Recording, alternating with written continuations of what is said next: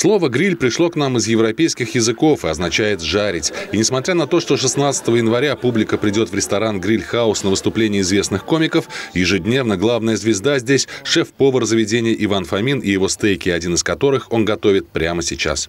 Здесь у нас уже происходит процесс приготовления рыбы, овощей и нашего красивого стриплойна.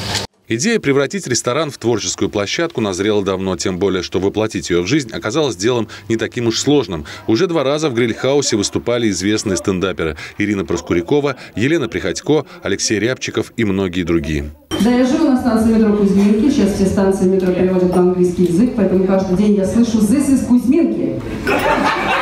Кузьминок не может быть приставки «This is». Для выступления человека с микрофоном не требуется большого сценического пространства, ведь главное в шоу стендап-комика – жонглирование словами и вовлечение в диалог зрителя. И чем меньше расстояние между выступающим и слушающими, тем лучше.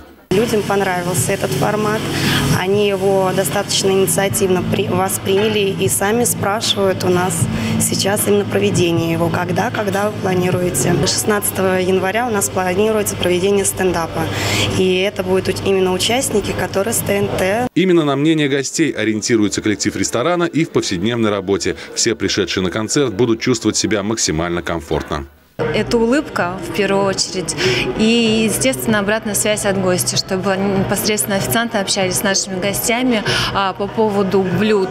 А, нравится им блюд, не нравится, как им атмосфера в нашем ресторане. То есть самое главное – это общение.